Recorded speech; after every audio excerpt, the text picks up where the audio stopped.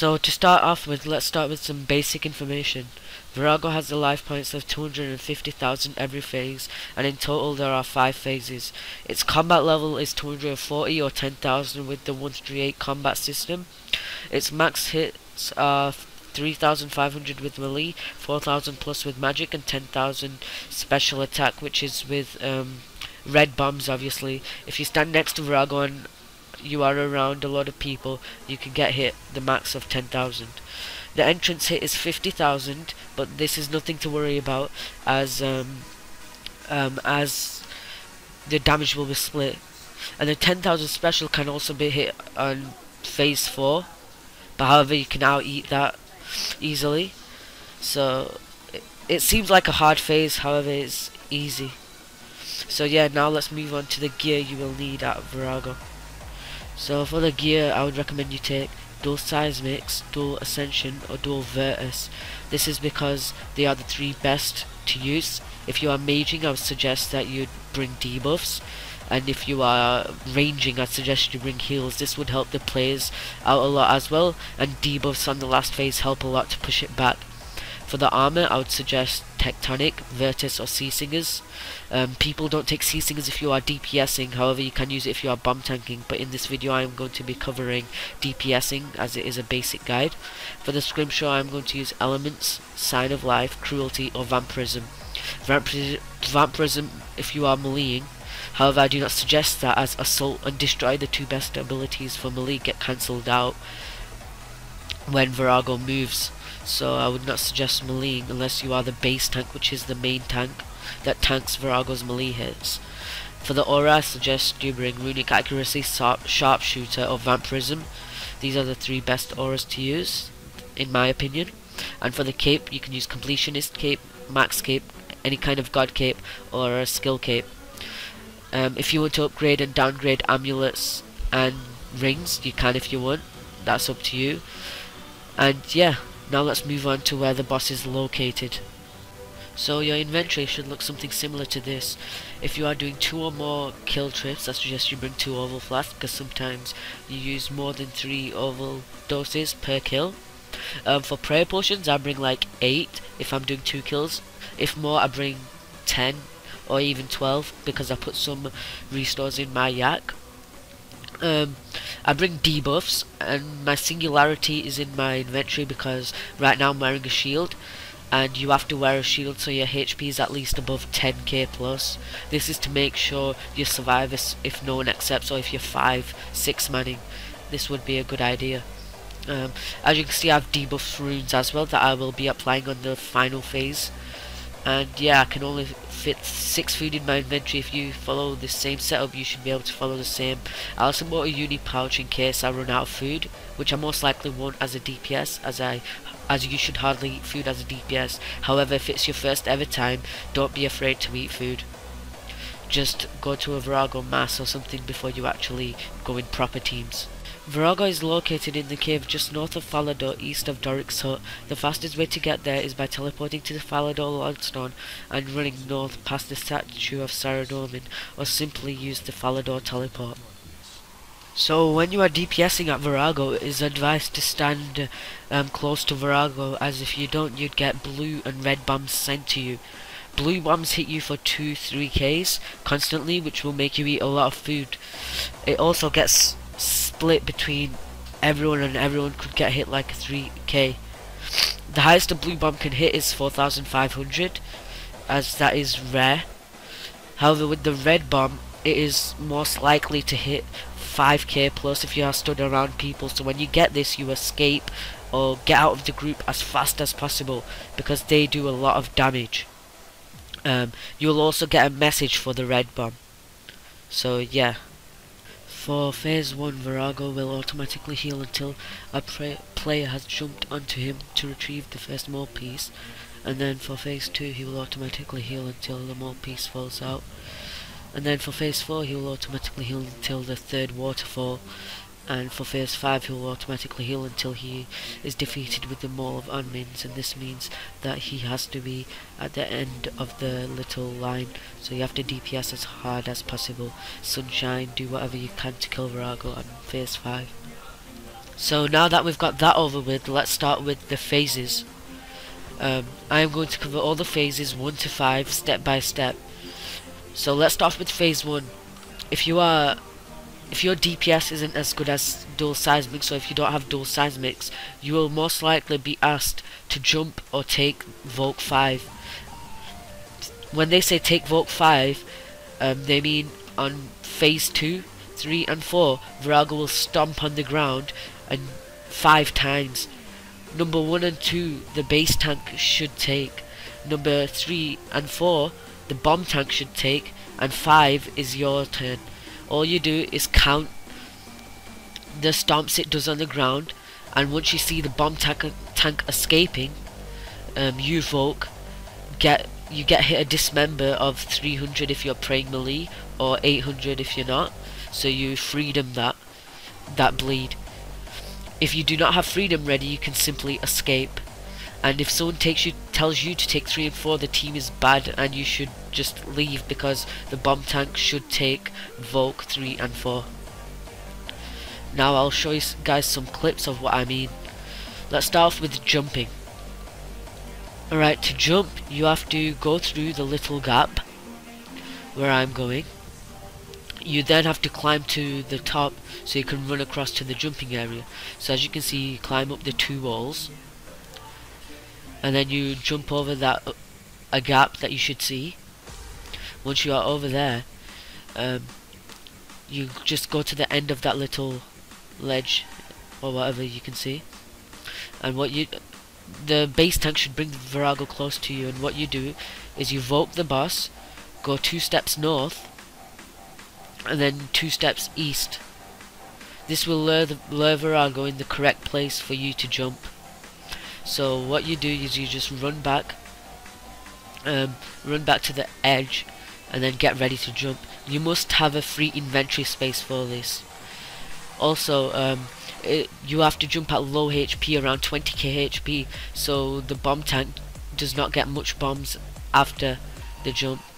This also makes it a lot easier for the DPSs as you only have to do 20k HP to get to finish the phase in one tick so it's not wasting that much time. But as you can see I jumped at 20k HP as it was the best time. And yeah that's all you have to do to jump. So on phase 2 you have to start Volking the boss. Um, do not attack Vorago straight away. Otherwise it will just hit you for the Volk so when it comes up let the base tank attack first. He will take 1 and 2 as you can see his fist gets smashed on the ground. That was um, two. The first one didn't show for some reason. But yeah, as you can see now the bomb tank volked.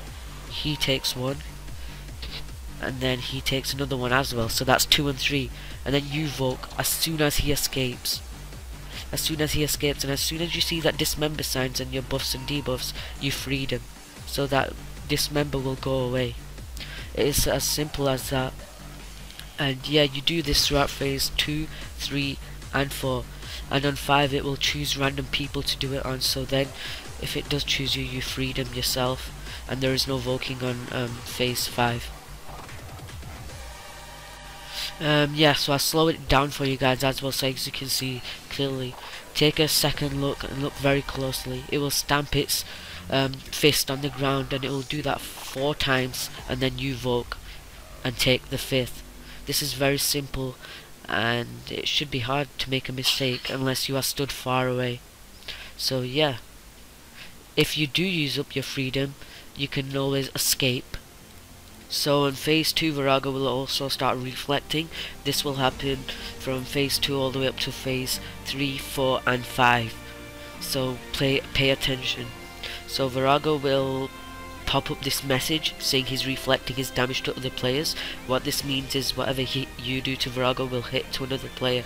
So say you hit a 5k on Vorago, a 5k will be hit on another player. So when this happens, just stay off Vorago. Get off Vorago as soon as possible.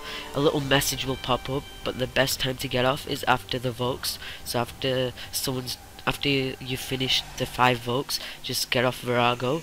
And yeah, you should be good. So phase 3 has many different phases. It changes every week for 5 weeks in a row.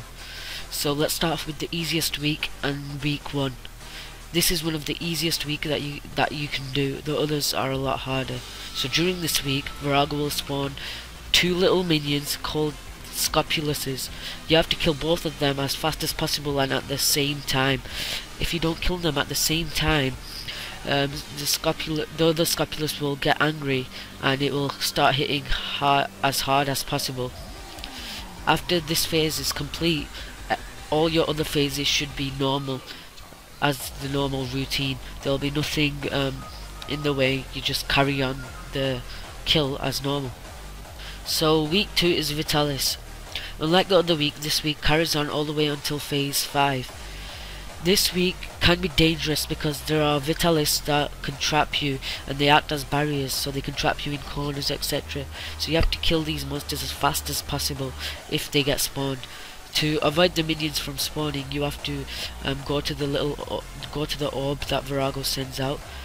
Um, this happens a few times on phase 3 depends how fast you go past phase 3 because it's a DPS phase and it also happens on um, phase 4 and 5 However, on phase 5 only 3 people have to go, and on phase 3 and 4, 5 people have to get to the orb. So this week is mostly 6-7 manned by people.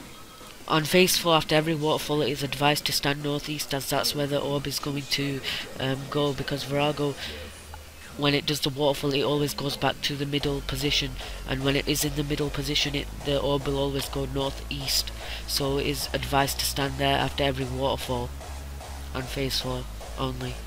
So week 3 is Rockfall. This week also carries on until phase 4. After phase 4, phase 5 is just simple.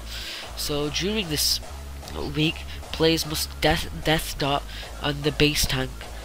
Um, by doing this when the rock has fallen, and if it does fall on the base tank, the damage gets divided. People do this so the damage does get divided between people because if you only stand in one area by yourself you can get hit up to 8k and this can be very dangerous and it is po easily possible to get one hit. This is a very hard week for um, bomb tanks because they have to destroy the rocks plus avoid the rock attack. Um, you'll know where the rock is going because there'll be a shadow on the floor before um, where it is going to fall just as it is when Vorago is jumping at the end of every phase. So yeah. So week 4 is Green Bomb. During this week, Vorago sends out a bomb called the Green Bomb, which can one hit you, well hit a 10k on you, unless you pass it on to another player. And to avoid this, there are three main methods. The first method being circle method. Um, to do this, you stand in a circle around Vorago and pass it around as a circle. Then there's the box method, which is a little bit more complicated. All you do is stand in a little box, and the first person to get the bomb passes it into the box, and then the first two people move out of the box once the bomb is passed on. The final method is easy, but can cost you food. What you do is you um, pass it to one player, and that one player tanks the green bomb and yet that tanks the green bomb and gets hit at 10k and that's pretty much about it. For phase 5 it is completely different. What you do is um, the, if you get the green bomb you pass it to the base tank and then the base tank runs to the DPS spot and then you stay at the base tank spot until the DP until the bomb is gone from the DPS spot. This week may sound complicated however it is possible to do if you learn it properly. Alright for the final week it's called the team split week. During this week you get turned into a colour either red or green. And you have to run into the box that is the same colour as you, so there will be a red and a green box. If you run into them boxes you will be saved. However, if you do not make it, eat above 8k as the highest you will get hit if you don't go into the boxes is 8k. And then on P4 and 5 is exactly the same. The boxes will appear, you will turn into the either of the colors and you run into the box. This week is very easy and you should be able to easily do. Even if you do not make it into the boxes, you can easily eat above 8k. So, so finally, I'd like to tell you guys that phase 3 is a DPS phase, so you have to get this phase over with as fast as possible. To do this, all you have to do is do as much DPS as possible, so Sunshine, Death Swiftness, use ultimates after the first reflect and this phase should be over pretty fast so yeah that's about it. And then phase four and five, I'll explain. I'll explain to you next. So I've slowed this down for you guys as well. But as soon as you get to phase four, Vorago will um, put fire around your screen, these little red things, and what you do is you get into the waterfall, um, which will be at the any corner at any corner of the um, of the room. So what you have to do is you spin your camera around in a 360 and see what side it is, and then you just quickly run into the waterfall as fast as possible so you don't get hit. This phase may sound hard, however it's not. All you have to do is run into the waterfall and then attack Vorago again. That's it. And on this phase you also get little minions and when you do get this minion kill it as fast as possible. All you do is asphyxiate the minion or something like that to kill it as fast as possible which is shown here on the next clip. And yeah that's about it for phase 4 everything else is normal. And yeah let's move on to phase 5 so that's the minion I was talking about. It is a clone of your character. All you do is use the first stun you can get. So if you don't have asphyxiate use impact which is the mage stun and just kill it as fast as possible and yeah that's about it. I've slowed it down for you guys so you can see it properly. And yeah that's about it for phase 4 now let's move on to phase 5 so now phase 5 phase 5 is a DPS phase just like phase 3 however you have to DPS and get it to the end of this ledge type of thing. Um, this was recorded on Team Split so this would be a good example of Team Split. But what you do is it will reflect to start off with. So you use a few basics and then get off on the reflect. Also on the reflect it would be best to apply debuffs. Um, and then after the reflect just sunshine sunshine do whatever you can. And on phase 5 it will also bleed random people. So if you get bled use freedom. Or if you don't have freedom just escape and then quickly get back in. Try not bomb the group if possible but if you only just come back in as fast as possible. So then use your sunshine and everyone else should as well for the best DPS and then use your um, thresholds.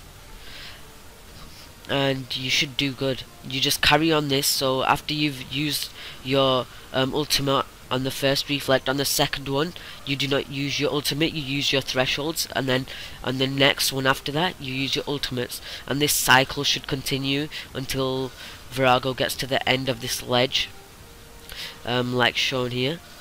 And yeah that's about it. On let's go over the phases again. On phase 1 Vorago will heal until you have jumped on Vorago. And the best way to do that is is to get it to low HP and then jump at 20k to get it all in one tick. Phase 2 it will send you have to get off on reflex and it will send out send out little orbs and you have to pass in the little orbs and get off on reflex and that's when the Volks will start as well. Phase 3 depends on the what what week it is. It is also a DPS phase so you do as much DPS as possible on that phase. Phase 4 is waterfall phase so you get in the waterfall um, until the three waterfalls have done and phase 5 which is now you just do as much DPS as possible and you try to get it to the end like shown here so thanks for watching guys. Um, this guide took me a long time to make so if you could give it a like maybe um, and if this helped you subscribe as well. And yeah guys um, peace out. And I might also do five videos on each of the different weeks. So yeah let's end this off with a full successful kill and just carry on watching the end of this